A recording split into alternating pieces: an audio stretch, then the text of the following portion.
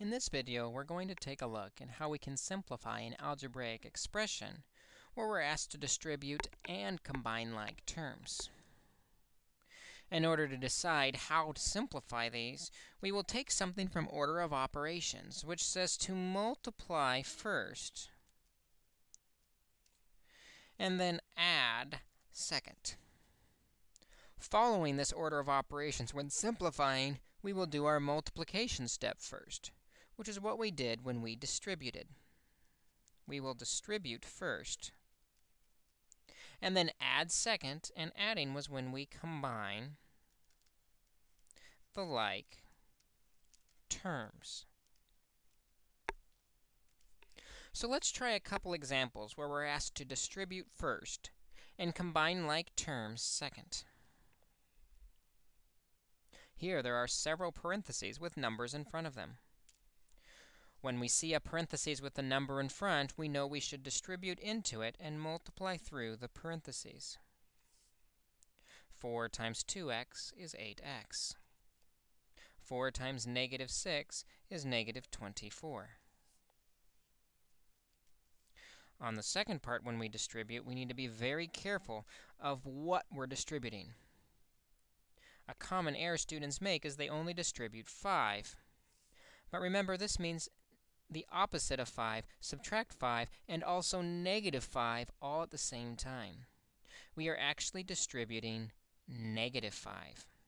Negative 5 times 3x is negative 15, and negative 5 times negative 7 is positive 35. Oops, I lost my x. Negative 5 times 3x is negative 15x and a negative times a negative is a positive 35. Now that we've distributed, we're ready to combine like terms. We'll look at the 8x, and what is like the 8x? The negative 15x. 8 and negative 15 will give us negative 7 of these x's remaining. The other like term that we have is the negative 24 and the positive 35. By not having any variables at all means they are in common with no variables. They are like terms. The positive is bigger, and when we do 35 minus 24, we end up with 11. Our final answer is negative 7x plus 11. We can't simplify any further because they are not like terms. The negative 7 has an x, the 11 does not. Let's try this example. Again, we see that we have to distribute through parentheses first. 3 times a is 3a. 3 times 5b gives us positive 15 of these b's.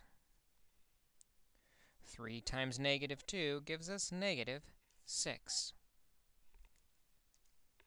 We will also want to distribute on the right side. However, there's no number in front to distribute. If there's no number written, we always assume that the number 1 is in front of anything. So what this really is asking us to distribute is, don't forget the negative, we're distributing negative 1 through. Negative 1 times 6a is negative 6a.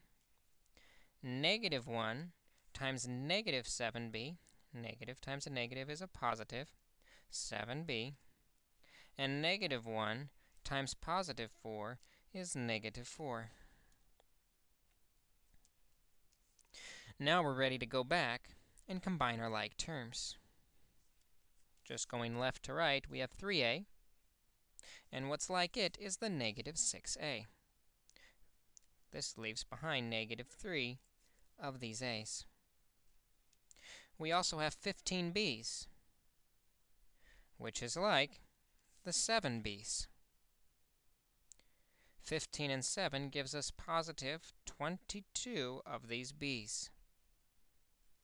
Finally, negative 6 is like the negative 4, both with the same sign, stays negative.